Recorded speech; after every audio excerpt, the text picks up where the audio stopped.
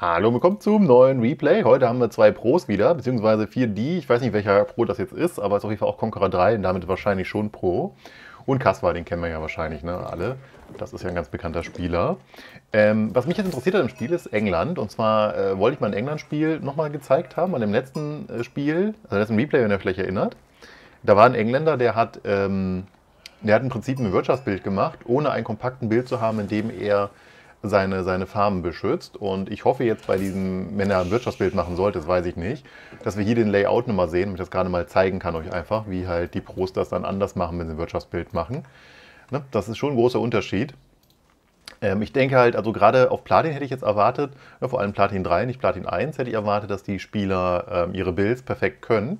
Aber der Wirtschaftsbild des englischen Spielers, der war tatsächlich sehr, sehr eigenartig.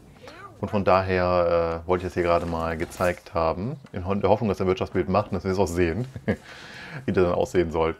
Übrigens Schafe, die können, wenn ihr, wenn ihr das aber schummeln, finde ich persönlich, wenn ihr Fake-Hütten platziert, dann werden die schneller, weil immer wenn die zum Gebäude eurer eigenen Nation gehen, dann werden die schneller, wie ihr hier seht. Und Fake-Hütten zählen als solche. Dann könnt ihr die hüpfen lassen. Ist aber meiner Meinung nach ein Exploit.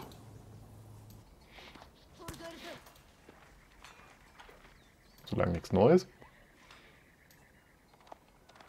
Ist natürlich jetzt mit dem Osman, ne? Der wird äh, am Anfang gleich noch einen Speer bauen und später dann die Reiterchen, die Pahi.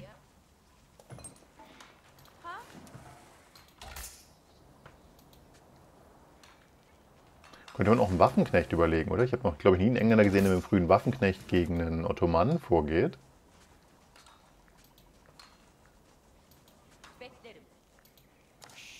Würde halt die Akademie erstmal komplett rausnehmen fast, bis auf den Emir-Bonus.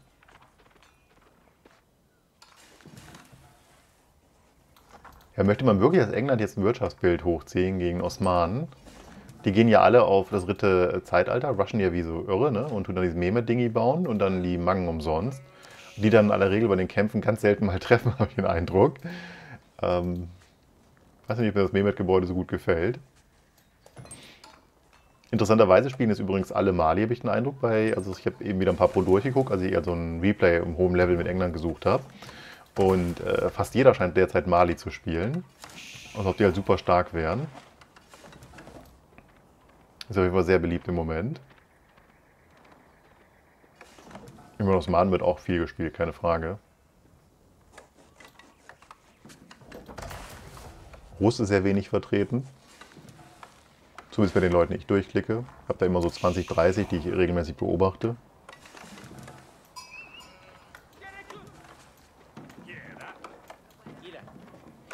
Ja, ruhige Schuh Kugel. Schickt auch keinen Speer los. Da ist ja kein Interesse dran in einen Speer. Was will er auch raiden da unten? Baut mit fünf Leuten das. Radzeile 3 heißt, hat keine Eile. 4 hieß er, er will die schneller raus haben. Und 5 da oben heißt halt, er will das ganz, ganz schnell haben. da kommen die Bärchen gleich raus. Kann man da nicht Ressourcen abgeben im Gebäude? Geht das nicht? Weil das dient ja als Mühle, steht da. Weil hätte er es dann hier vorne hingebaut, hätte er die Bären abgeben können. Also er will sich dann die Bären da sammeln und da reinbringen nachher. Kompakte Bauweise halt. Aber ich, echt? Also willst du dann eine extra Mühle nur für die Bärchen da hinten bauen? Sieht so aus, ne? Wundert mich aber ein bisschen. Ich hätte gedacht, dass das vielleicht ein bisschen besser wäre, da vorne hinzubauen.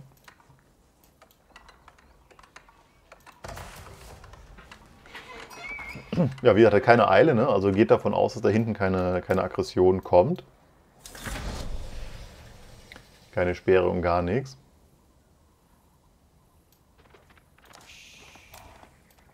Nicht sicher, woran er das abgelesen hat und ob es einfach nur geraten war. Aber was hätte, wie gesagt, der erste Speer auch machen sollen? Der hätte ihm halt im schlimmsten Fall vom Stein kurz runtergeschubst. Genau so lange, wie er mit dem vierten Arbeiter jetzt schon, ne, hätte es mit vier dann gebaut, wäre der erste Speer gekommen, hätte er sofort den langen Bogen rausgeholt.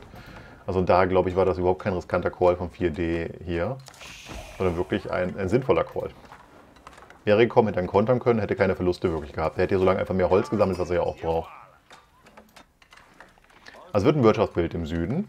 Und jetzt bin ich gleich mal gespannt, wie er es halt baut. Ne? Also ich würde vermuten, dass er das zweite Dorfzentrum vielleicht hier vorne irgendwo hinquetscht, hier oder hier, ähm, damit halt in der Mitte Platz für Farmen hat und halt Ressourcen gleichzeitig beschützt damit. Ob er es aggressiv nach vorne baut, ich würde es nicht empfehlen. vielleicht da hinten noch hin, aber das ist auch kein kompakter Bau. Hat er geguckt da oben, was da abgeht?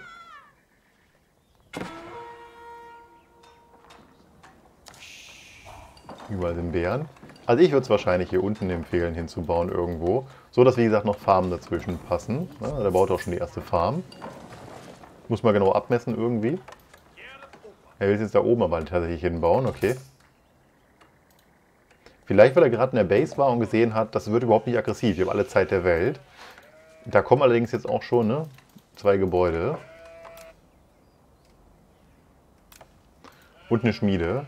Ist, glaube ich, schon Indizien dafür, dass der früh aggressiv werden will. Während das da... Äh, also ich glaube, dass das backfiren wird. Also ne, der Gegner wird ja ihn jetzt gleich angreifen. Und ähm, hier vorne ist er jetzt greedy geworden. Und die Defense ist natürlich dann schlecht für ihn. Also ich denke, kompakte Bauweise, das wollte ich halt extra gezeigt haben, wäre massiv besser gewesen. Meine Prognose ist, er wird das bereuen, der Engländer. Bitter, bitter bereuen.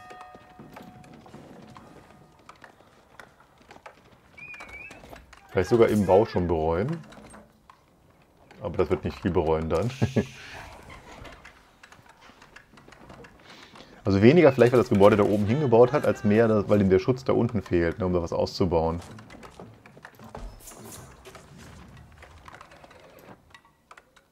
frühe Palisade. Will halt nicht, dass ähm, hier Langbögen oder so in die Ecke kommen und einfach mal reinsnipen in das Ding. Ne? Können sie aber auch von der Seite. Aber klar, eine Seite abwollen ist immer eine gute Sache. Muss ja irgendwo anfangen.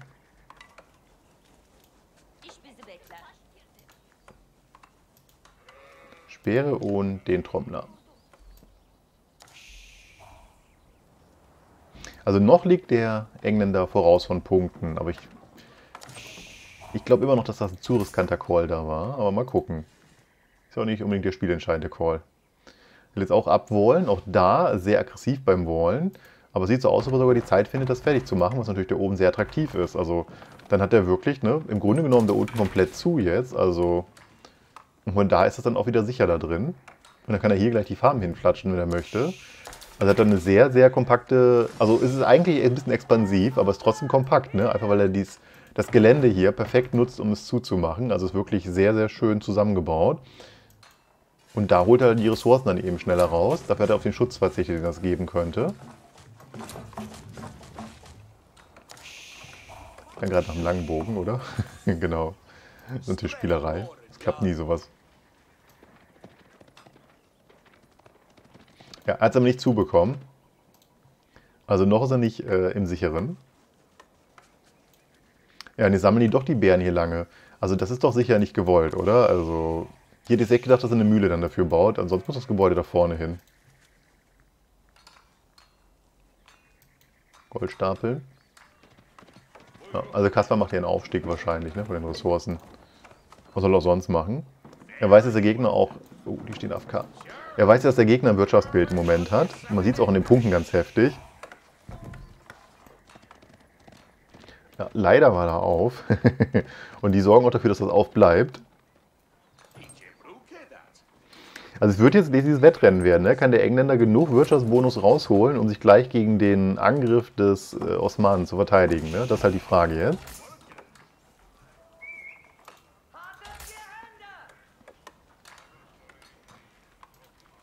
Und er hat halt jetzt ne, diese Lücke da oben, leider. Und hier auch nicht die stärkste Defense, quasi gar nichts auf der Seite.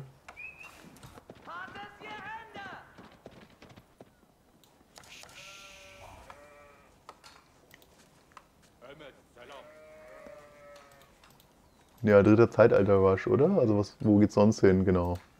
Da ist Mehmet.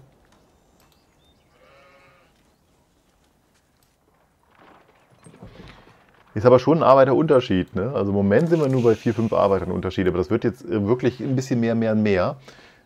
Also wenn ich der Engländer wäre, würde ich ihm empfehlen, es gibt ja viele Engländer, die jetzt einfach hardcore weiter auf äh, Wirtschaft setzen. Ich würde jetzt schon anfangen, langsam von dieser Wirtschaft abzusehen. er hat ja den Vorteil, den er will. Er kriegt ja mehr Wirtschaft als der Gegner. Aber er braucht jetzt mehr, mehr Armee. Also die meisten übertreiben einfach mit der Wirtschaft ein Stück weit. Aber mit dem Stall hier vorne macht er schon den ersten Schritt, glaube ich, weg von der Wirtschaft. Also das ist, glaube ich, der richtige Call auch.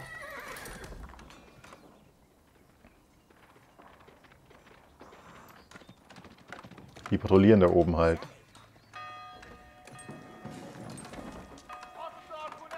Das Problem bei England ist so ein bisschen, man will ja eigentlich mehr Farmen bauen, man will ja ins dritte Zeitalter. Ähm, aber wo will er die hinbauen, die Farm? Ja, das ist ja ein Wirtschaftsbild dann und dritte Zeitalter gehen ist ja ein riesen Investment. Ähm, also wo sollen die jetzt hin, die Farmen? Ist ja nix, keine Stelle ist ja sicher derzeit. Und ihm geht ja auch die Nahrung langsam aus. Also will er die Beeren da vorne sammeln, ist nicht sicher. Wo will er die Farm hinbauen, ist auch nicht sicher. Er braucht sowieso Holz, dann... Ja, jetzt macht er halt ne, weiter Wirtschaft. Hat aber ein Dreieck so ein bisschen gebaut, wenn man das so nennen möchte. Das ist ja quasi auch ein Dreieck. Und müsste die Farm halt jetzt dazwischen irgendwo anbringen, aber sehr weit auseinander gebaut, das Dreieck. Also ich glaube nicht, dass das ein optimal sicherer Bild ist. Ja, nicht, das schlechter sein muss, aber sicher ist es auf jeden Fall nicht. Also ich sehe da ein langfristiges Nahrungsproblem auf ihn zurollen derzeit. Er hat schon mehr Arbeiter, aber er braucht mehr Truppen. Es geht so nicht. Gleich ist die erste Mangel fertig. Sechs Ritter sind in Produktion. Sind das sechs Ritter? Ja, ne? Braucht vielleicht nochmal einen Stall oder so. Das fehlt vielleicht auch noch. Ja, die stehen halt überall, ne? einfach nur um zu gucken, was der macht und ob er rauskommen möchte. Da geht es halt nur um äh, Sicht hier. Der sieht halt dann so ein bisschen, was da los ist und weiß genau, wie er dann wo angreifen will. Und sieht halt auch schon die Armee ein Stück weit. Ja, 4D macht zu langsam Truppen für meinen Geschmack. Hat halt jetzt auch Ritter gequeued.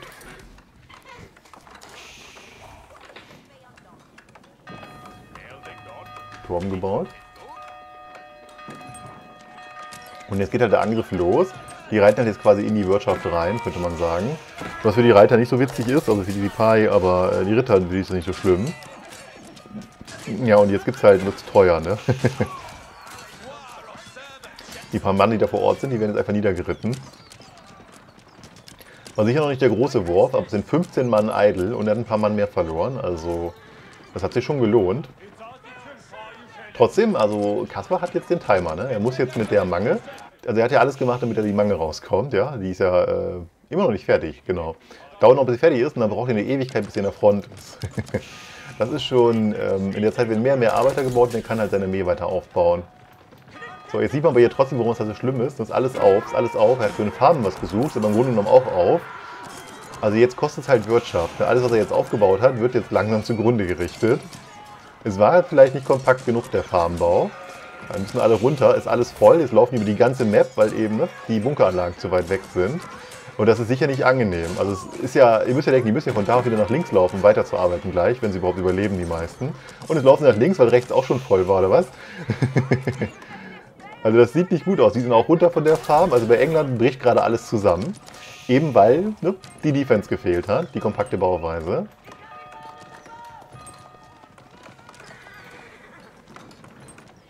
Acht Arbeiter sind draufgegangen. Nicht der ganze Vorteil, aber ein ganzes Stück auf jeden Fall. Und die kosten ja auch was. Aber noch hat der Engländer wahrscheinlich einen Wirtschafts Wirtschaftsvorteil, der immer weiter ausgebaut wird. Da kommen die Armbrüste. Wo ist denn die Mange hingekullert? Die ist immer noch nicht da, ne? Hat er die abgebrochen? Ne, das ist sie, ich wollte gerade sagen. Episch wäre natürlich, wenn er jetzt mit den Rittern kurz rausgriffen wäre, um die Mange kaputt zu machen. Also ich hätte jetzt auch nicht wahrscheinlich dran gedacht, aber er muss ja wissen, dass er mit mir mitgebaut hat. Das machen ja 100% der Spieler so. Das heißt, er muss wissen, dass er irgendwo eine Manga auf einem Feld gerade irgendwie zurollt. Und er hat ja eine mobile Truppe, wo er einfach mal kurz raus kann. Ob sich das lohnt und auch gegen die anderen Reiterchen hier, weiß ich jetzt nicht. Ähm, aber es wäre vielleicht ein Call wert gewesen.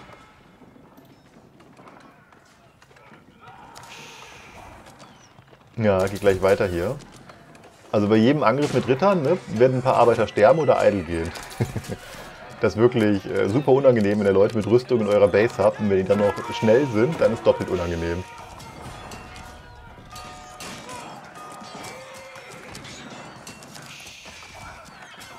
Zack, und wieder einer tot. Ja, die Mangel, die räumt jetzt hier auf, Fragezeichen. Was hat er gemacht? Ah, tatsächlich einen erwischten Arbeiter, okay. Also wir haben schon 15 tote Arbeiter, 15. Nichtsdestotrotz führt er immer noch 14 äh, Arbeiter, also Noch ist, ist natürlich trotzdem Eidelzeit dran und der Kostenfaktor. Also noch hat er nicht genug kaputt gemacht, der Kaspar, um wirklich äh, zu sagen, das hat sich gelohnt. Aber er ist ja noch dabei, er arbeitet ja durch. Die Arbeiter machen wahrscheinlich jetzt auch nicht ihr Projekt, das kann er vergessen. Zack. Und wieder zwei Arbeiter tot wahrscheinlich. Das läppert sich, ne? Plus die Eidelzeiten. Wieder sechs Mann Eidel. Also da arbeitet schon fast gar keiner mehr.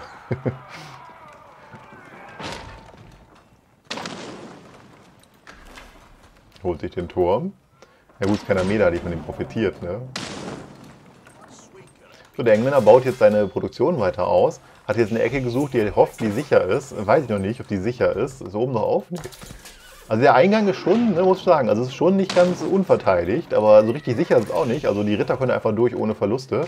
Und dann kriegen sie nochmal Pfeile ab, nochmal Pfeile ab, aber sind dann trotzdem da drin. Ne? Also er bräuchte eigentlich eine Armee von Armbrüsten oder sowas, was gegen die Mange und die zweite Mange gleich kommt natürlich auch nicht angenehm wäre. Also der Engländer hat hier richtig ein Problem gerade.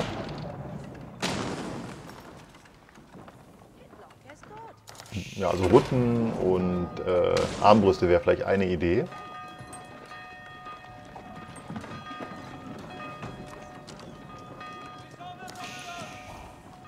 Wir gehen da einfach durch. Ist zwar hier ne, schon umzingelt von den ganzen Pfeilen. Also schon so ein bisschen kompakter, der Eingang. Aber eben auch äh, nicht so, dass es die Rüstung wirklich stört. Der macht dann trotzdem sein Ding. Ein paar viele Pfeile ab, der Freund. Noch sicherlich auch nicht die Wirkung von, von diesem Mehmet-Dingi. Also so stark sieht es noch nicht aus. Trotzdem 17 Arbeiter. Ey, das ist schon brutalo. Jetzt sind es gleich 19. er gibt sich Mühe, eine Palisade zu bauen, aber es klappt nicht. Selbst wenn das ganze Projekt fertig ist, brauchen wir nur Rechtsklick machen sofort durch. Also Ritter brauchen ja nicht lange, um eine Palisade einzureißen. Ne? Also die Palisade rechts, ich verstehe, woher das kommt, aber also es hätte sowieso nicht viel gebracht. Vermute mal, dass der auf Speere gehen will. Noch baut er ja keine. Also er hat jetzt die Kasernen seit Ewigkeiten gebaut, aber baut die ganze Zeit weiter Ritter nach.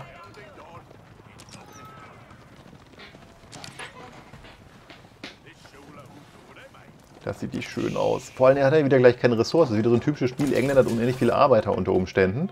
Und dann gehen aber die Key-Ressourcen ein bisschen aus. Also der Links kann ja machen, was er möchte. Er hat sein zweites Ding gebaut, um aufzuholen. Hätte man auch wahrscheinlich Handel ein bisschen machen können. Er war ja auch hier direkt hier vorne. Ähm, aber der kriegt jetzt seine Relikte alle eingesammelt. Eine Heiligen Städte kriegt er gleich. Also diese Map abgeben an den Gegner, das ist immer so ein, so ein Wettkampf. Ne? Bringt eure paar Arbeiter mehr was, als das, was der Gegner dann sammelt. Und wenn das Spiel wirklich langfristig geht, dann macht ihr irgendwann die Arbeiter aus und der Gegner hat Relikte, also mehr Max Popcap sozusagen. Also wenn das ein langfristiges Spiel wird, und das ist ja beim Wirtschaftsspiel so ein Plan auch oft, hat man schon strukturellen Nachteil normalerweise. Oh, der will ja nicht mehr weg, glaube ich. Das würde, glaube ich, dem Pete gefallen, so ein Gameplay. Der baut auch mal gerne seine Gebäude beim Gegner. Jetzt ist, wenn er sie hinbaut, muss das aber auch beenden so, ne? Wenn er die Dinger verliert, ist ungesund. Aber das ist jetzt, ähm, er hat sich jetzt gesagt, das gebe ich nicht mehr auf, die Ecke.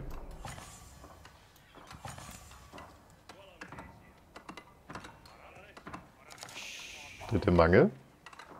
Da sollte der Engländer wirklich mal langsam überlegen, Routen zu bauen. Steine ausgegeben.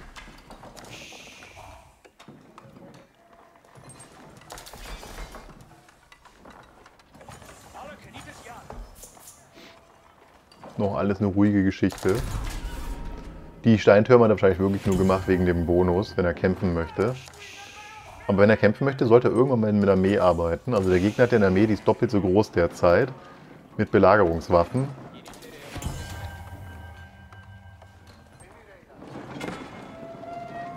Das rote ist fertig. Könnte ein bisschen wenig sein, aber geht in die richtige Richtung. Jetzt Großangriff. Ist die Frage, ob man den Rittern jetzt wirklich irgendwie wirklich kämpfen möchte oder ob man nicht einfach reinreitet, die Arbeiter alle tötet.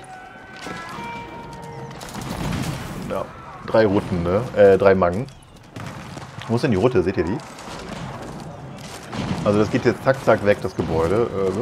Äh, einfach alle draufklicken. Wo ist denn die Route? Ich sehe die gar nicht. Muss irgendwo sein. Der hat gerade ein Gebäude verloren, aber was von den Pfeilen.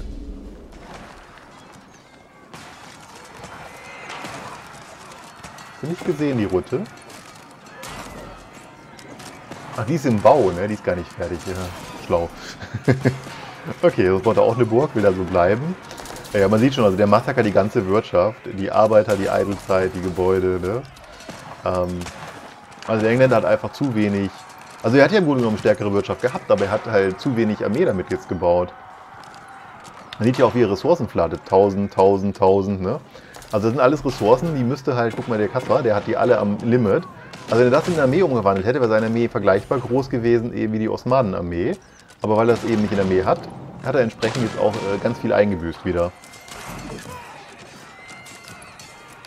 Und er baut halt nicht durchgehend hier, ne? Also da sind immer wieder Pausen drin.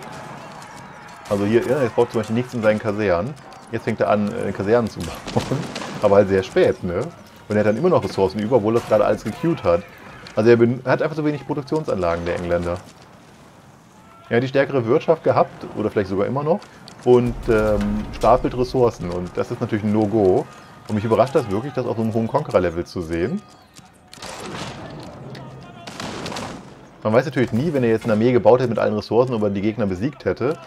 Aber sagen wir mal, wenn 1000 Ressourcen in 10 Mann Pi mal Daumen sprechen, ne? er hat eben 3000 über gehabt, dann hätte er halt 30 Mann mehr gehabt, dann hätte er halt 42 zu 39 gehabt, dann wäre es zumindest ein fairer Fight gewesen. Und Engländer in der Verteidigung mit einem Turmbonus ist schon eine nette Sache. Also hätte die Ressourcen wirklich umgesetzt, hätte es ein fairer Fight werden können. Und der hatte dann eine stärkere Wirtschaft, um den Abnutzungskrieg zu gewinnen gegen den Osmanen. Obwohl natürlich jetzt inzwischen hier eine Relikte ist ja krank. er hat ja alle Relikte gesammelt, der Kaspar.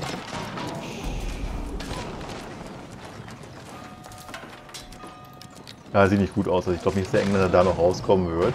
Arbeiter sind jetzt 50-50, aber Kaspar hat halt die Relikte noch dazu, die heiligen Städte, ne? Hat halt einfach alles, kann alle Ressourcen aus der Map holen, wie er möchte, könnte auch noch einen Handel anmachen. Der Engländer hat immer wieder Eidelzeiten mit seinen Arbeitern, also das wird entschieden sein, das Spiel. Es waren einfach zu wenig Produktionsanlagen, beziehungsweise er hatte ja sogar die ganze Zeit die AFK-Kasernen gehabt, die er den nur nicht benutzen wollen aus irgendeinem Grund. Gerade hier kann man ja unendlich viele Bögen rausholen. Das hat er eigentlich auch nicht durchgehend benutzt. Also der Langbogen-Spam äh, war null. Er hat überhaupt schon mal einen, er hat glaube ich drei Bögen im ganzen Spiel gebaut, oder? Mit langen Bögen kann man doch Armbrüste besiegen, Preis-Leistung. Das ist doch kein Riesendrama. Und so ein paar Potshots kann man immer abgeben.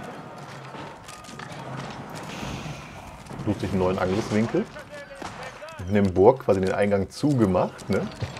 dass man ein bisschen weiter sieht. Und ja, kommt jetzt Rain von der anderen Seite. Sehr nice.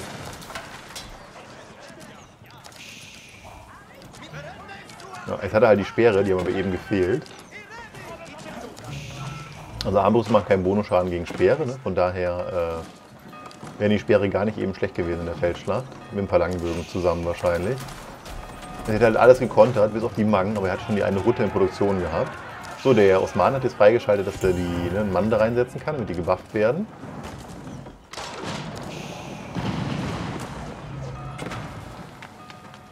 Ja, die Ressourcen, ne? 3000, 4000, also über 5000 Ressourcen und so wird er jetzt auf der Hand haben. Ähm, ich meine, Kaspar fängt jetzt auch schon an zu stapeln, aber Kaspar hat ja auch die Armee.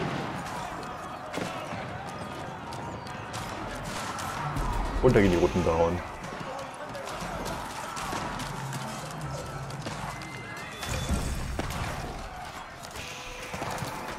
Ja. Also wenn immer ihr eine Burg in die eigene Basis bauen müsst, wenn ihr angegriffen werdet, könnt ihr eigentlich fast schon davon ausgehen, dass das Spiel gegen euch läuft. Ne? Ist halt so, leider. Hier schöner Mangenschuss, auch wenn der nochmal richtig treffen würde. Bam! Also die, die Mange hat sich echt gelohnt. Die hat gerade ein Massaker veranstaltet hier. Auch die Belagerungsmaschinen gehen von den Arbeitern down. Die Ritter wurden alle von den Speeren getötet. War das jetzt ein Comeback? Also guckt euch mal die Kill an, was er zerstört hat an Wert. Der hat jetzt gerade 6000 äh, mehr vom Gegner vernichtet oder 5000 mehr vernichtet, als er verloren hat. Also eventuell war das jetzt ein Comeback.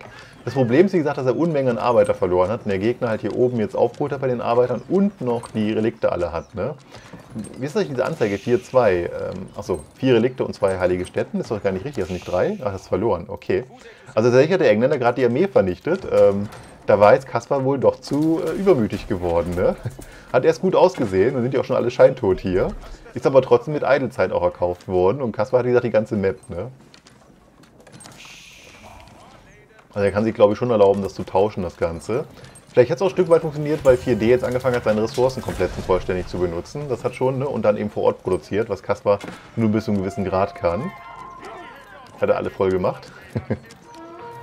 Hat aber eben jetzt zwei oder drei Mangen, glaube ich, verloren in der Base. Also das war richtig teuer für ihn. Steinmauer. Ganz auch noch relativ sicher. Also es könnte tatsächlich ein Comeback von 4D sein. Sind halt 600 äh, Ressourcen pro Minute Unterschied durch ne, Heilige Städte und Relikte derzeit. Und 600 ist schon eine Zahl, die man nicht verachten kann. Letzte Goldvorrat sind noch 371 Goldstücke über und das war's dann mit dem Gold. Ne? Dann ist er gezwungen rauszukommen, draußen zu sammeln. Und dann würde sich ja wünschen, dass er Heilige Städte plus Relikte gehabt hätte die letzten 10 Minuten. Und rauskommen ist hier kein Projekt, was so einfach wird in absehbarer Zeit. Also der Engländer geht die Gold aus und das heißt keine Belagerungsmaschinen und keine Ritter mehr. Jede Zeitalter, das heißt er will jetzt das Gold über die Farben machen wahrscheinlich, ne? Obwohl er den Tag nicht anklickt. Ich meine, er hat doch nicht viele Farben, oder? Das sind drei, vier Farbenkomplexe, das reicht aber eigentlich. Ist gar nicht eine Anzeige jetzt. Er hat aber irgendwo angeklickt, da unten, genau. Da oben ist, glaube ich, nicht an. Ich muss auch da gucken. genau. Gleich gibt's Gold. Also, wow, was machst du denn da? Okay, das war sicher ein Missklick von Kaspar. Das war natürlich jetzt ungesund für ihn. Ich wollte gerade sagen, der Engländer braucht nur eins, Zeit, ne? Und genau das hat Kaspar ihm gerade geschenkt. ja, also vielleicht, wenn er da irgendwie eine Burg da unten hinbaut und dann hier oben versucht zu verteidigen und da auch schon eine Burg steht, ein heiliger Städtesieg, ist vielleicht auch eine Option. Aber so langsam tut Kassel ein bisschen viel Boden verlieren. Engländer stapelt eigentlich wieder Ressourcen, was Kaspar nicht macht. Also mal sehen. Auch die Farmen, er braucht halt die Farben für das Gold jetzt und selbst dann kommt nicht viel rein.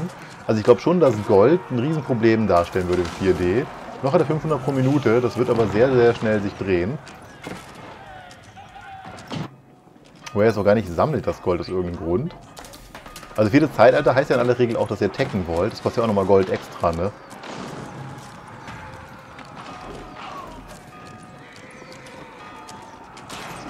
So, die Burg ist weg. Antibelagerung hat funktioniert. Wieder alle eitel. Ja, das Problem ist wirklich die Ressourcen, die der stapelt. Also, das ist normalerweise heißt das einfach Langbögen-Spam. Und das ist ja auch nicht so verkehrt unbedingt, wenn der Gegner die ganze Zeit auch Armbrüste unten. Ja, klar, Ritter sind unangenehm, aber er kann ja Langbögen im Prinzip und Speere zusammen spammen. Das ist ja kein Problem. Nur wegen dem Gold ist das Problem, problematisch Ritter und Belagungswaffen zu bauen. Aber er macht die halt nicht, die Einheiten. Und ähm, ne, hier ist ja nicht CQ. Der hat einen einzigen Speer in Auftrag gegeben, den einzigen Waffenknecht. Oder was ist das? Nee, ein Tribok nochmal. Er baut halt einfach keine Einheiten, ne?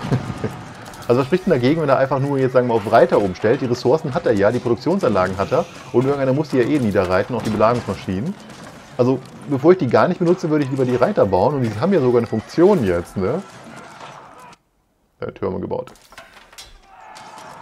Also ich verstehe nicht, warum dieser Spieler sich weigert, seine Ressourcen in Einheiten umzusetzen. Wäre? Er spart auf irgendwas, vermute ich, aber ich weiß nicht worauf. Ingerpalast baut er ebenfalls nicht. Das ist wieder eine Goldfrage.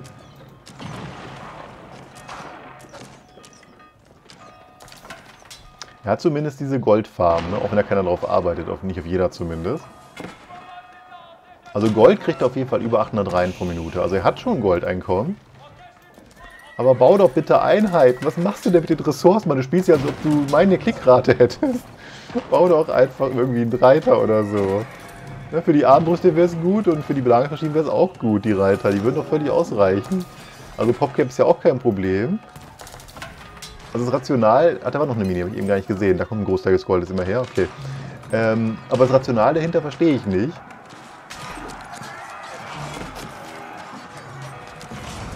Also hier drüben werden immer irgendwie ne, 15 Einheiten hinter gequeued zumindest. Hier sind 8 gequeued, obwohl er die Ressourcen alle hat und er geht am Limit. Also Kaspar klickt einfach, was geht und er halt nicht. Das ist schon nicht zu, zu... Also man sollte es auch nicht ignorieren.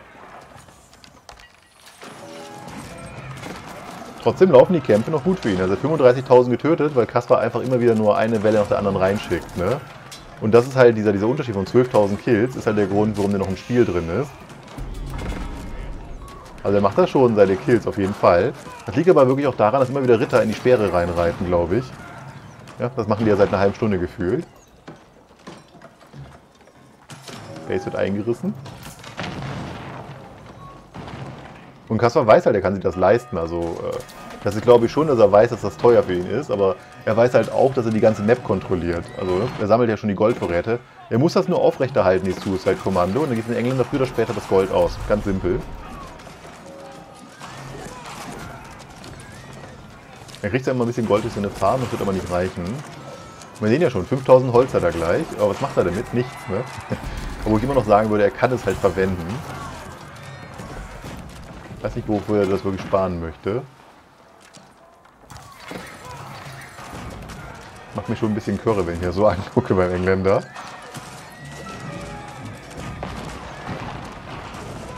Jetzt hat er sich doch mal entschieden, Reiter zu bauen. Warum jetzt, warum nicht eben, aber zumindest macht er sie.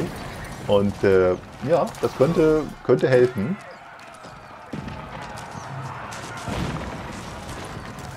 Und überall kracht es. er ist gleich kaputt, ne? Schnell raus und reparieren vielleicht. Reparatur davon kostet ja nur äh, Holz, ne? Und die Holz, das Holz hat er ja. Also, keine Ahnung, die elf Mann hätte ich es reparieren lassen. Klar, wegen Ritter ein bisschen unschön. Aber das ist ja nicht besser, wenn man darin wartet. Also die Pfeile machen eh keinen Schaden am Ritter, das kann man ja vergessen. Große Party. Kanonenturm, das macht halt Flächenschaden. Gerade gegen die Ritter sehr episch gut. Und da haben wir die große Bombarde. Müsste vielleicht nochmal Mann rein schnell. Gerade bei Bombarde lohnt sich das ja. Der hat einfach die Mauer eingeschossen. also die Belagerung läuft auf jeden Fall. Der Engländer verteidigt sich mit, mit wirklich allem, was er hat. Heiliger Sieg ist wieder an nebenbei. Und die Arbeiter gehen jetzt alle drauf. Und die Arbeitergruppe, die Arbeitergruppe, 70 Arbeiter, gleich so bei 80 Arbeitern. Uiuiuiui. 82 Arbeiter tot. 82 Arbeiter tot. Wirtschaftsunterschied von Arbeitern, 50 Stück Unterschied. Also Kaspar hat halt auch wirklich, der, der spammt die einfach rein, weil, weil er halt einfach auch ganz viel Arbeit in der Backline hat. 146 Arbeiter. Der tut den Engländer einfach nur einsperren damit und scheißt auf die Verluste und tut das mit Einkommen ausgleichen. Und genau das geht auch auf, die Strategie. Da kann man durchschießen.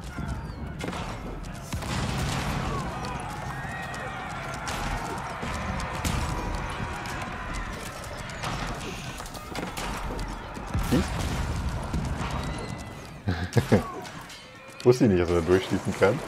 Sehr witzig. Ja, wir nennen es mal die Zergstrategie. Das machen ja viele Nationen inzwischen so, ne? sei es jetzt äh, Mali drittes Zeitalter mit Farimba oder, oder äh, Burggrafenpalast. Ihr macht die Einheiten, ihr spammt die rein und tut den Map Control einfach nutzen und äh, schneidet damit sehr gut ab. Das klappt hervorragend im Spiel. Und der, der den kompakten Wirtschaftsbild macht, äh, der verteidigt auch, macht auch mehr Kills, wie man hier sieht. Das sehen wir auch sehr häufig. Und ist sehr häufig trotzdem zu wenig. So, Gold ist runter auf 400 pro Minute.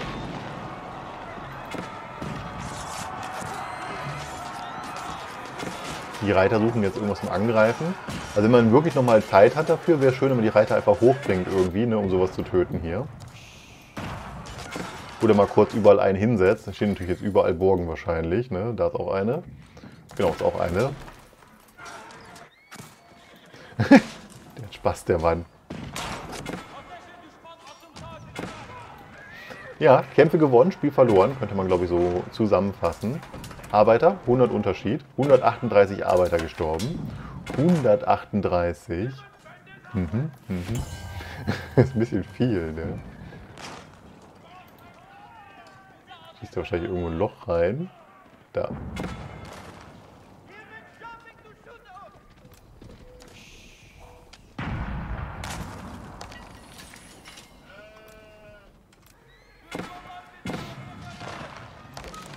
Ja, da passiert nicht mehr viel. Also Kaspar hat das ja gewonnen. Der Engländer will es nur noch nicht aufgeben. Wo ist denn der Timer? Sechs Minuten. Ihr könnt ja mal beischreiben, also wenn ihr Ranked spielt 1 gegen 1 auf eure Niveaus, wie viele dieser Art von Spiele habt ihr schon gehabt, wo ihr wirklich das wie Kaspar macht, dass ihr einfach sagt, scheiß auf meine Armee, ich schicke die nur in die Basis und opfer die nonstop, damit ich halt die Map Control behalte, damit der einfach beschäftigt ist. Also wie oft habt ihr das schon gemacht erfolgreich? Ich habe es, wie gesagt, schon in einigen Replays bei den Pros gesehen. Im unteren Elo habe ich es noch nie gesehen. Ähm, kommt bei euch das manchmal vor? Gegen euch, mit euch, wie auch immer? Und weiter geht's.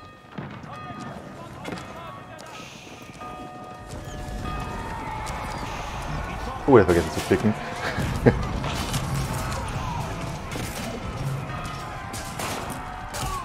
also die Arbeiter-Kill-Liste ist jetzt bei 161. Das ist sicher ein neuer Rekord.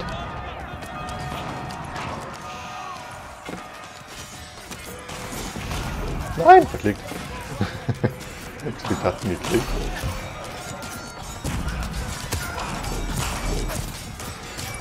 Die haben eine bessere Rüstung, oder? Die osmanischen Reiter, also vom Aussehen her. Das sieht aus wie so ein Kettenhemd am Pferd, wenn die anderen, die Engländer, so ein Tuch haben. Vielleicht der Text stand, wenn ich hingeguckt. Ja, das war auf jeden Fall England Verteidigung. In dem Sinne. Ciao, ciao.